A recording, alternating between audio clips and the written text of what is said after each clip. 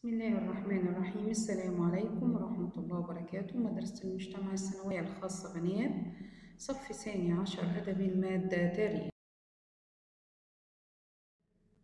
رؤية المدرسة إعداد فتيات متعلمات مبدعات قادرات على بناء مجتمع واعي. متحضر محافظا على أخلاقه وقيمه مستخدما للتكنولوجيا الحديثة. القيمة التربوية قيمة الشهر الابتكار.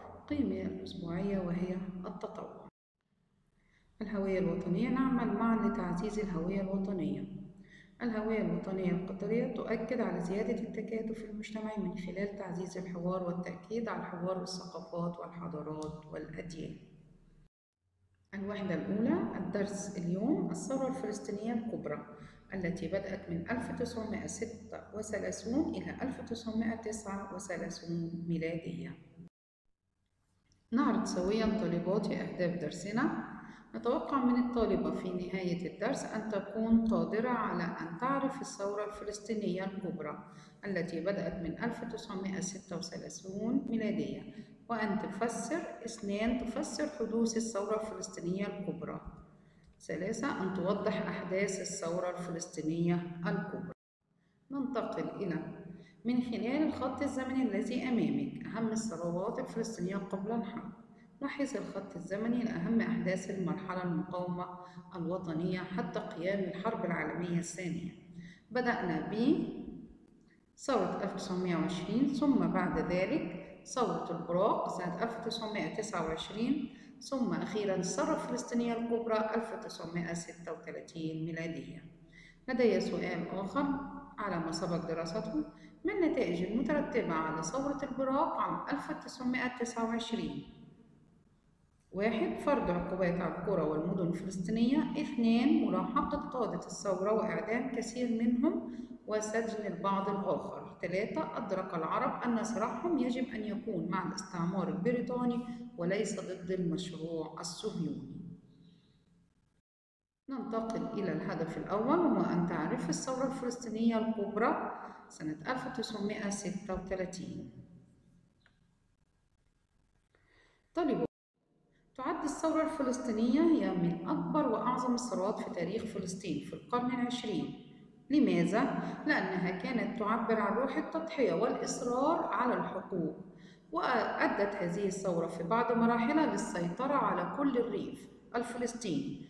وأيضا قدمت نموذجا عالميا وهو أطول إضراب يقوم به شعب كامل عبر التاريخ حيث استمر إضراب الشعب الفلسطيني 178 يوما وقادت الثورة اللجنة العربية العليا التي تشكلت عام 1935 بقيادة الشيخ أمين الحسين.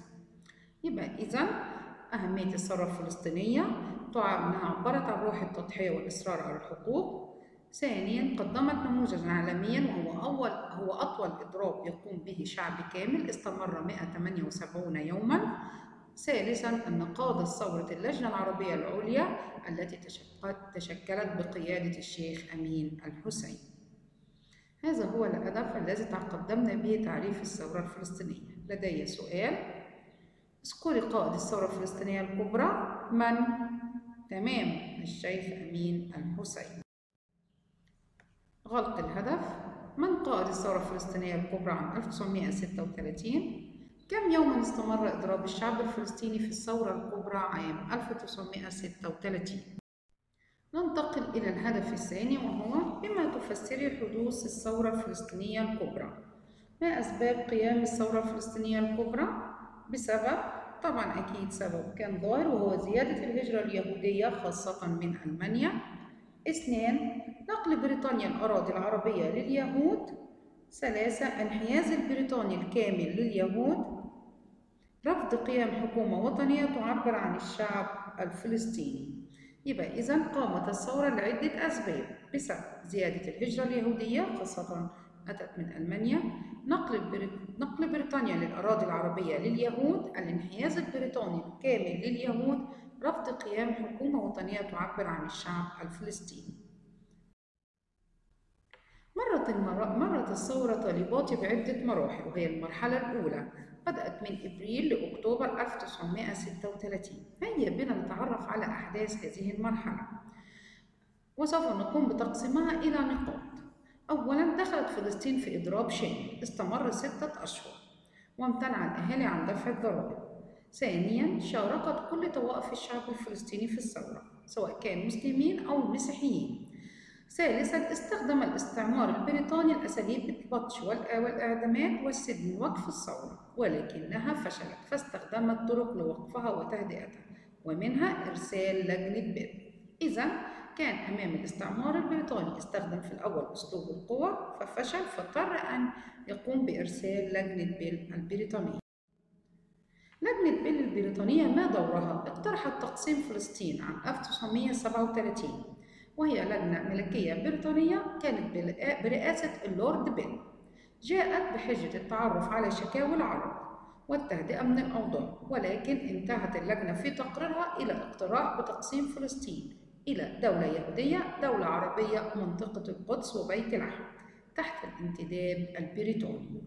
يبقى إذا ما نتيجة لجنة بيل هو اقتراح تقسيم فلسطين. إلى دولة يهودية عربية منطقة القدس وبيت لحم تحت الانتداب البريطاني.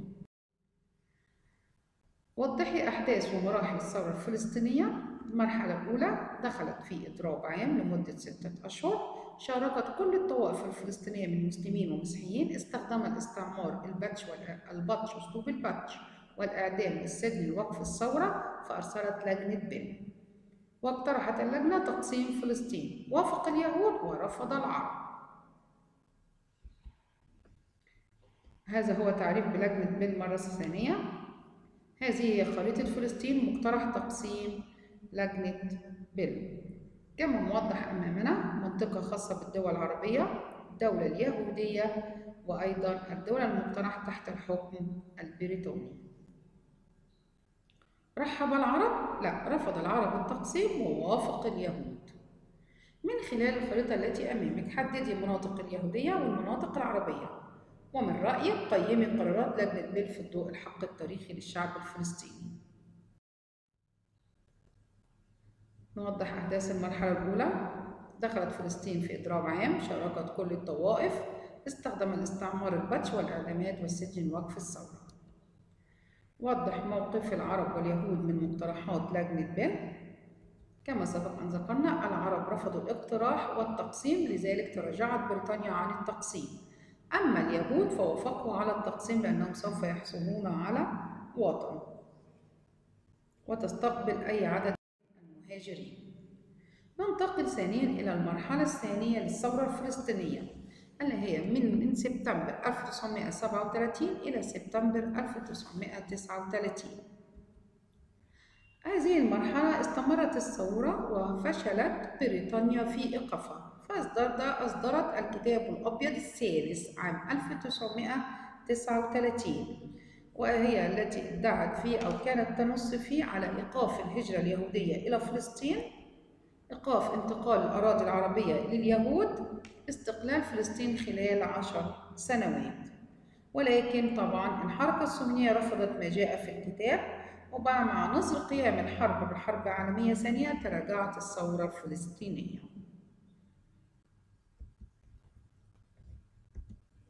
هنا نوضح لنا وضح العوامل التي أدت إلى تراجع الثورة الفلسطينية الكبرى. عوامل تراجع الثورة الفلسطينية الكبرى. ما هي؟ حل اللجنة العربية العليا وإبعاد بعض أفرادها إلى جزيرة سيشل إقالة المفتي الشيخ أمين الحسيني من رئاسة المجلس الإسلامي الأعلى.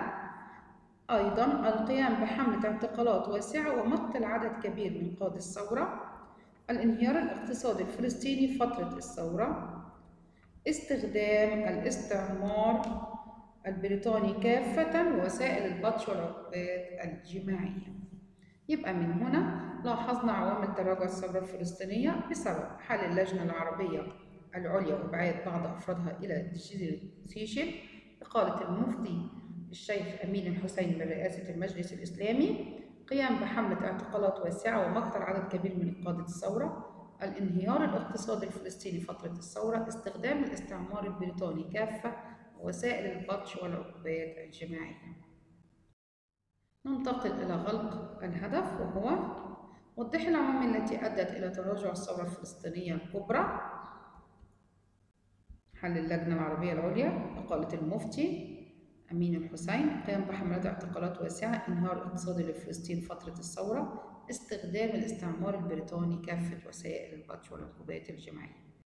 ننتقل الآن إلى الغلق الختامي. عليك طلبتي الإجابة على هذه الأسئلة في الدفتر الخاص بك. أي الشخصيات الآتية تولي رئاسة اللجنة العربية العليا؟ عام 1935 ما هي مقترحات لجنة بيل لتهدئة الثورة الفلسطينية؟ فسري أسباب الثورة الفلسطينية الكبرى. انتهى درسنا اليوم. مع تمنياتي لكم بالنجاح والتوفيق.